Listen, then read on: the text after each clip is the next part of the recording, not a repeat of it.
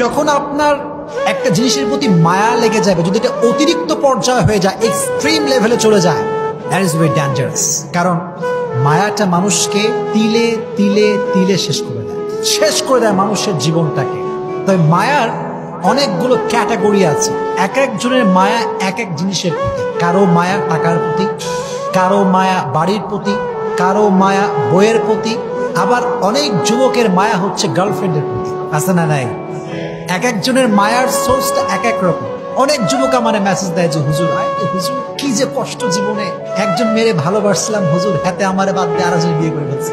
জীবনে কষ্টের শেষ নাই। তো ওই যে মায়াটা লেগে যায় ওই মায়াটা ওভারকাম করতে পারবে।